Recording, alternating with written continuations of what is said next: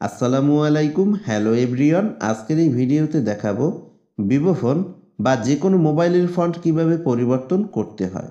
বর্তমানে প্রত্যেকটা ফোনে ডিফল্টভাবে কিছু ফন্ট থাকে, যেগুলো দেখতে ভালো না।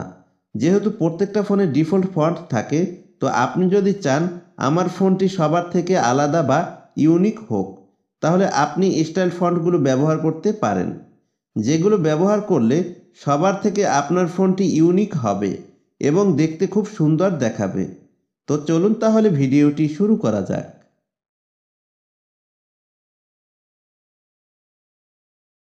ভিভো ফোন বা যে কোনো মোবাইলের ফন্ট পরিবর্তন করতে পারবেন। আমার যেহেতু ভিভো ফোন আমার ফোনের ডিসপ্লেতে দেখতে পাচ্ছেন যতগুলো অ্যাপ্লিকেশন আছে, সব অ্যাপ্লিকেশনের ফন্টগুলো কিন্তু নর্মাল অবস্থায় আছে। এখন আমি যদি চাই এই ফন্টগুলো নর্মাল থেকে স্টাইল ফন্ট করতে, সেটা করতে হলে ফোনের সেটিংস অপশনে চলে যাব। এরপর একটু স্ক্রল করে নিচের দিকে চলে আসব, এখানে দেখতে পাচ্ছেন lock screen home screen and wallpaper এখানে ক্লিক করব। এরপর এখানে অনেকগুলো অপশন আসবে, এর ভিতরে দেখতে পাচ্ছেন চার নম্বরে থিম অপশন এখানে ক্লিক করব। এরপর একদম নিচের দিকে ডাউনলোড মোর এই অপশনটিতে ক্লিক করব।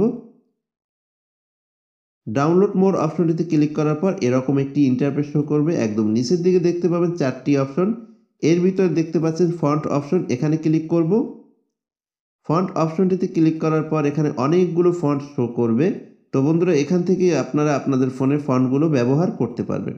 আমি আপনাদের দেখানোর জন্য এখান থেকে যে কোনো একটি ফন্ট নিয়ে নেব। এরপর একদম নিচের দিকে ডাউনলোড অপশনে ক্লিক করব। ডাউনলোড অপশনটিতে ক্লিক করার পর এখানে অ্যাপ্লাই অপশনে ক্লিক করব। ওকে, এখানের কাজ শেষ। এখন আমি ব্যাগে চলে যাব। এখানে একটু ওয়েট করব। তো দেখতেই পাচ্ছেন আমার ভিভো ফোনের ডিসপ্লেতে যতগুলো অ্যাপ্লিকেশন আছে, সব অ্যাপ্লিকেশনের ফন্টগুলো কিন্তু পরিবর্তন হয়ে স্টাইল ফন্ট পরিণত হয়ে এসেছে। তো এই রকমই মোবাইল ফোনের ফন্ট পরিবর্তন করতে হয়।